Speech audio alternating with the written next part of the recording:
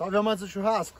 Hoje no sábado na Brasa vou mostrar para vocês como que a gente faz a montagem do nosso equipamento, nosso primeiro defumador, o LB805 e todos os cuidados que a gente tem, que vai ter que ter no processo de defumação, no processo de cura e manutenção do equipamento. Bora lá, que hoje é sábado na Brasa!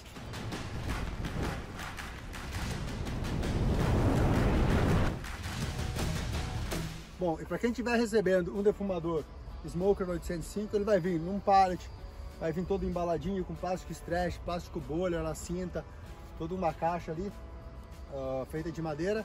Então essa madeira você vai poder usar para de carvão, ela não é uma madeira para defumação, mas para começar um fogo, principalmente na parrilha, pode estar aproveitando.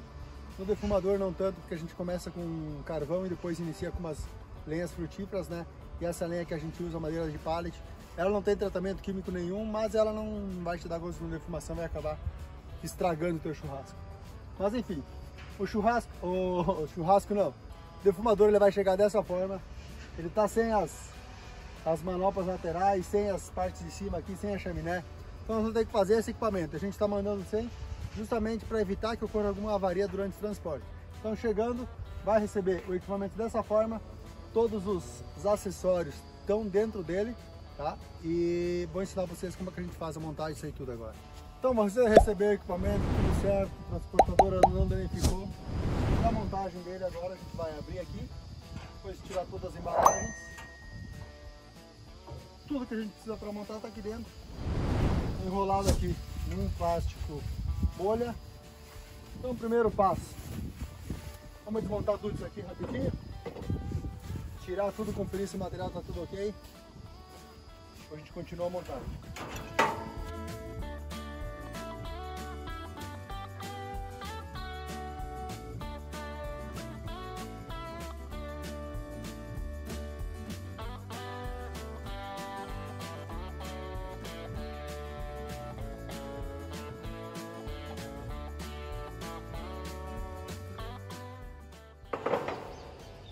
Bom, chegou tudo já, tirei todas as peças aqui, ó.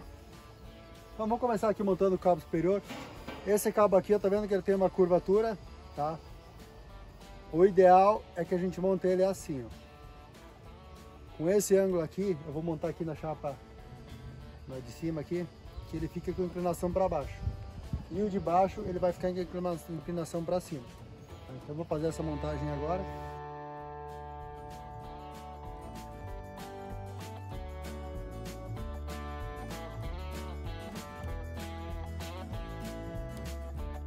Agora nós vamos montar os cabos laterais, tá? Essa inclinação aqui a gente vai montar aqui na lateral. Ele já tem a furação, só vou encaixar ele virado para cima. Coloquei todas as alças aqui, alças laterais, as alças frontais também. Agora vamos instalar a chaminé. Chaminé também, bem simples. Ela tem três furos, tá? Bem, bem tranquila, é só pegar encaixar na lateral aí. Depois a gente bota a tampinha aqui praticamente está finalizada a montagem.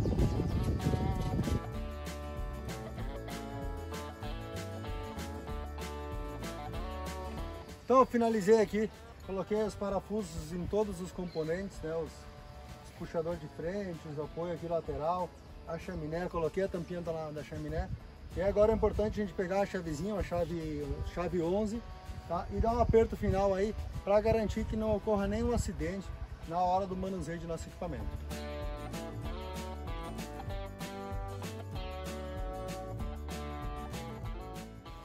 Para facilitar a montagem, eu acabei tirando todas as grades, tirei a firebox, tirei o coletor de gordura, para ficar mais livre para a gente trabalhar. Então as grelhas é só encaixada, não tem muito segredo. Então são duas grelhas, uma posterior e outra inferior, ela só tem encaixe, as grelhas são do mesmo tamanho, então ela pode, tanto em cima como embaixo, aí ela a gente pode colocar. E entre o firebox aqui, que é a nossa caixa de fogo, e a primeira grelha, a gente tem as plaquetas refratárias, que é um opcional, que tu vai colocar ou não. Quando a gente vai utilizar, quando eu quero utilizar as duas grelhas, que eu não quero que o calor aqui embaixo seja muito intenso na, diretamente na grelha inferior aqui, a gente acaba colocando essa plaqueta refratária, ela vai esquentar e ela ajuda ainda a manter a temperatura do, do, do pit e não deixa que o braseiro ele incida diretamente na proteína. Isso dá uma maior estabilidade no pit. Então, é um opcional, se não quiser, pode botar, botar apenas a, a, a placa refratária, não tem problema. Mas é uma recomendação que a gente dá, eu gosto bastante de utilizar ela com a plaqueta.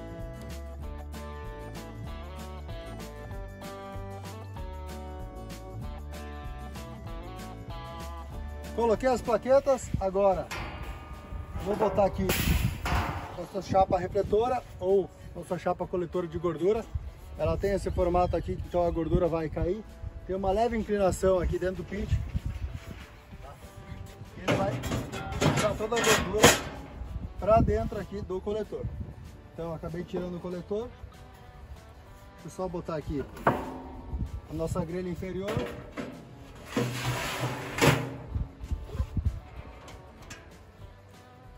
Fechou? Coletor de gordura. E aqui a nossa Firebox.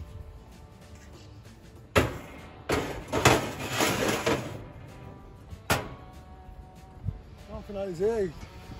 Finalizamos, apertamos todos os, os cabos, colocamos ali o refratário, botamos a grelha e por fim aí instalar o nosso termômetro.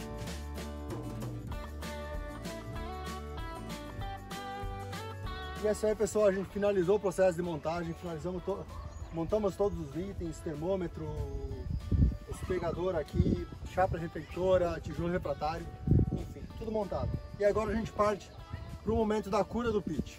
Esse é um momento muito importante, porque ele vai dar as características iniciais do seu equipamento. Como o nosso equipamento ele possui tinta eletrostática, a cura da tinta não é necessário fazer, porque essa cura a gente já faz dentro da fábrica.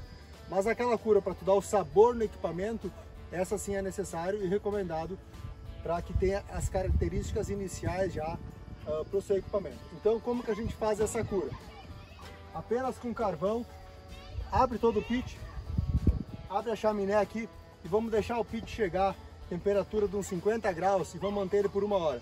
Isso aí o que, que ele vai fazer? Ele vai começar a dilatar a chapa, tá? Ela não vai dilatar a chapa de uma forma muito agressiva, tá? E vai começar a dar algumas reações aí uh, na parede interna do equipamento aí por, é, com, o, com essa temperatura. Após uma hora a gente vai aumentar para 100 graus, tá? Coloca um pouco mais de lenha.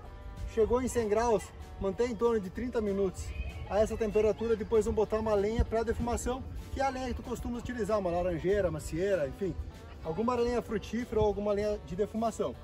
Vamos botar no pit e deixa por mais uma hora. E é esse processo de uma hora que ele vai começar a dar as características próprias do seu equipamento. Então cada equipamento é único, ele tem características únicas pela lenha que vai defumar, pelo ambiente que está defumando, temperatura interna, é, externa, enfim. Então por isso que cada pit é único. E, por esse, e durante esse momento, que vai durar em torno de duas horas, duas horas e meia, o recomendado é começar a entender o funcionamento do pit. Onde que ele tem as maiores áreas de calor, né? Porque a gente tem aqui o firebox, aqui a gente tem a entrada de ar, então aqui a gente tem uma área de calor maior, tá? Porém, quando a gente tira a chapa reflectora, vai mudar um pouco essa variação, entendeu? Então se tu tiver um termômetro ou uma sonda que é legal, cara, começa a brincar um pouquinho para identificar quais são as regiões que tem a temperatura aí, que está marcando no termômetro, está marcando 120 graus, tá? Mas aqui tá quanto? Ali tá quanto? Entendeu? Então esse que é a brincadeira aí que a gente acaba fazendo durante essas duas horas, é, praticamente uma hora e meia, aí, uma hora, que é o processo final de defumação. Depois disso, o equipamento está todo ele pronto para receber a proteína e fazer aquele defumado. E é isso aí, rapaziada. Essa foi uma dica de como que a gente faz a montagem e o start inicial do nosso Smoker NB805.